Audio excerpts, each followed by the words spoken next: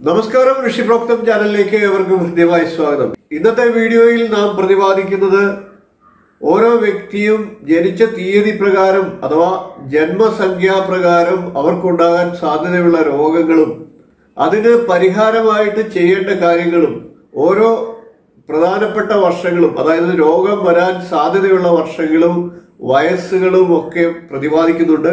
സംഖ്യാ ജ്യോതിഷപ്രകാരം ഒരു വ്യക്തിയുടെ രോഗം അതിന് പരിഹാരം. ഈ വിഷയത്തിലേക്ക് കടക്കാം. അതിനു മുമ്പായിട്ട് ചാനൽ ഇതുവരെ സബ്സ്ക്രൈബ് ചെയ്തിട്ടില്ല എങ്കിൽ ദയവായി സബ്സ്ക്രൈബ് ചെയ്യാൻ അഭ്യർത്ഥിക്കുകയാണ്. തൊട്ടടുത്ത് കാണുന്ന ബെൽ ബട്ടൺ ഓൾ ക്ലിക്ക് ചെയ്താൽ തുടർന്ന് ഞാൻ നൽകുന്ന വീഡിയോകളിലേക്ക് നോട്ടിഫിക്കേഷൻ നിങ്ങൾക്ക് ലഭിക്കും. വീഡിയോ ഇഷ്ടപ്പെട്ടാൽ അത് ലൈക്ക് ചെയ്യുക. മറ്റുള്ളവർക്ക് ഉപകാരമാകുന്ന രീതിയിൽ ഷെയർ ചെയ്ത് കൂടി കൊടുക്കുക.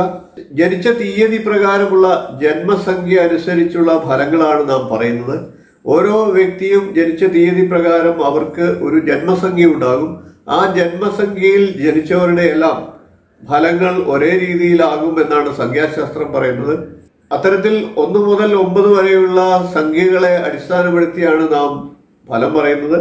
ഓരോ തീയതിയുടെയും അനുസരിച്ച് ഓരോ പ്രത്യേകം പ്രത്യേകം വീഡിയോ ആണ് തയ്യാറാക്കുന്നത്. നമുക്ക് ഇനി വിഷയത്തിലേക്ക് കൂടുതലായിട്ട് കിടക്കാം. ഇനി നമുക്ക് രണ്ട് പതിനൊന്ന് ഇരുപത് ഇരുപത്തി ഒൻപത് എന്നീ തീയതികളിലൊക്കെ ജനിച്ചവരുടെ വരാൻ സാധ്യതയുള്ള രോഗങ്ങളും അവയ്ക്ക് വേണ്ട പരിഹാരങ്ങളും സൂക്ഷിക്കേണ്ടതായിട്ടുള്ള വർഷങ്ങളും മാസങ്ങളും ഒക്കെ പരിശോധിക്കാം. രണ്ട് പതിനൊന്ന് ഇരുപത് ഇരുപത്തി ഒൻപത് എന്നീ തീയതികളിലൊക്കെ ജനിച്ചവരുടെ ജന്മസംഖ്യ എന്ന് പറയുന്നത് രണ്ടാണ്. രണ്ട് ജന്മസംഖ്യ ആയിട്ടുള്ളവരുടെ ഗ്രഹം ചന്ദ്രനാണ്. ചന്ദ്രൻ ഗ്രഹമായിട്ടുള്ള ഈ വ്യക്തികളുടെ ആരോഗ്യസ്ഥിതി പൊതുവെ നല്ലതായിരിക്കും. ഇനി നമുക്ക് ഇവർക്ക് ഉണ്ടാകാൻ സാധ്യതയുള്ള രോഗങ്ങളിലേക്ക് ഒന്ന് പോകാം. ഇവർക്ക് സാധ്യതയുള്ള രോഗം അജീർണം പോലെയുള്ള രോഗങ്ങളാണ് ദഹന പ്രശ്നങ്ങൾ ഉണ്ടായിട്ട്. അജീർണം പോലെയുള്ള രോഗങ്ങൾ ഇവർക്ക് ഉണ്ടാകാനായിട്ട് സാധ്യതയുണ്ട്. ഇവർ മഞ്ഞപ്പിത്തം ഉണ്ടാകാതെ ശ്രദ്ധിക്കുക മറ്റ് പകർച്ചവ്യാധികളൊക്കെ ഇവരെ ബാധിക്കാൻ സാധ്യതയുണ്ട്. അതുകൊണ്ട് തന്നെ വളരെയേറെ ശ്രദ്ധ ചെലുത്തുക. വെളിയിൽ നിന്നൊക്കെ ഭക്ഷണം കഴിക്കുന്ന ഈ പറഞ്ഞ തീയതികളിൽ ജനിച്ചവർ ഇത്തരത്തിൽ ശ്രദ്ധിക്കുക. പകർച്ചവ്യാധികളും മഞ്ഞപ്പിത്തം പോലെയുള്ള ഭക്ഷണത്തിൽ കൂടിയുള്ള പ്രശ്നങ്ങളും ഒക്കെ ഇവരെ ബാധിക്കാം. ഇവർ മിതാഹാരവും സസ്യാഹാരവും ഒക്കെ ശീലമാക്കിയാൽ ഇവർക്ക് ആരോഗ്യത്തെ സംരക്ഷിക്കാൻ സാധിക്കുന്നതാണ്. ഇരുപത് മുപ്പത്തെട്ട് നാൽപ്പത്തിയേഴ് അറുപത്തിയഞ്ച് എഴുപത്തിനാല് എന്നീ പ്രായങ്ങളൊക്കെ ഇവർക്ക് ദോഷകരമായിട്ടുള്ള പ്രായങ്ങളാണ്. ഈ വയസ്സുകളിൽ ഇവർ വളരെയേറെ ശ്രദ്ധിക്കുക. ഈ കാലങ്ങളിലൊക്കെ ഇവർക്ക് രോഗങ്ങൾ ഉണ്ടാകാനുള്ള സാധ്യതയുണ്ട്. മേൽപ്പറഞ്ഞ രോഗങ്ങൾ ഉണ്ടാകാതെ ഇരിക്കാനായിട്ട് ഈ പ്രായത്തിൽ അവർ ശ്രദ്ധിക്കുക എന്നുള്ളതാണ് ചെയ്യേണ്ടത്.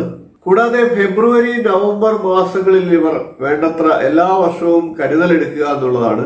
ഫെബ്രുവരി നവംബർ മാസങ്ങളിൽ ആരോഗ്യ പ്രശ്നങ്ങൾ ഉണ്ടാകാതെ അല്ലെങ്കിൽ ഭക്ഷണക്രമത്തിലൊക്കെ വളരെ ശ്രദ്ധിക്കുക. ഫുഡ് പോയ്സൺ പോലുള്ള കാര്യങ്ങൾ ഉണ്ടാകാതിരിക്കാനായിട്ട് ഇവർ ഭക്ഷണത്തിൽ ക്രമീകരണം ഏർപ്പെടുത്തുക. മിതാഹാരവും സസ്യാഹാരവും ശീലമാക്കി ആരോഗ്യത്തെ സംരക്ഷിക്കുക. ദോഷപരിഹാരമായിട്ട് ചന്ദ്രന് നവഗ്രഹ ക്ഷേത്രത്തിൽ ദോഷപരിഹാര പൂജ ചെയ്യുക. ദുർഗാദേവി ക്ഷേത്രങ്ങളിൽ വിളക്ക് മാല നിവേദ്യം എന്നീ വഴിപാടുകളൊക്കെ ചെയ്യാം. കൂടാതെ മാതാവിന്റെ ഗ്രഹത്തിൽ കുടുംബ ക്ഷേത്രങ്ങളിലൊക്കെ വഴിപാട് നടത്തുക. ഇത്തരത്തിൽ ദോഷകാലങ്ങളെ മനസ്സിലാക്കിക്കൊണ്ട് ശ്രദ്ധ വയ്ക്കുക ആരോഗ്യത്തോടുകൂടി ജീവിക്കാൻ നിങ്ങൾക്ക് തീർച്ചയായിട്ടും സാധിക്കുന്നതാണ്. എല്ലാവർക്കും ആരോഗ്യമുണ്ടാകട്ടെ മേൽപ്പറഞ്ഞ തീയതികളിൽ ജനിച്ച വ്യക്തികളായിട്ടുള്ള രണ്ട് പതിനൊന്ന് ഇരുപത് ഇരുപത്തി ഒമ്പത് തീയതികളിൽ ജനിച്ചവരുടെ ജന്മസംഖ്യ രണ്ടാണ്. ഈ ജന്മസംഖ്യ ഉള്ളവരെ എല്ലാം ഈ പറഞ്ഞ കാര്യങ്ങൾ ശ്രദ്ധിച്ചുകൊണ്ട് മുന്നോട്ട് പോവുക. എല്ലാവർക്കും ആരോഗ്യമുണ്ടാകട്ടെ എല്ലാവരെയും ഈശ്വരൻ അനുഗ്രഹിക്കട്ടെ എന്ന് പ്രാർത്ഥിച്ചുകൊണ്ട് നിർത്തുന്നു. അടുത്ത ദിവസം നമുക്ക് അടുത്ത ജന്മസംഖ്യയുമായി കാണാം. നന്ദി നമസ്കാരം.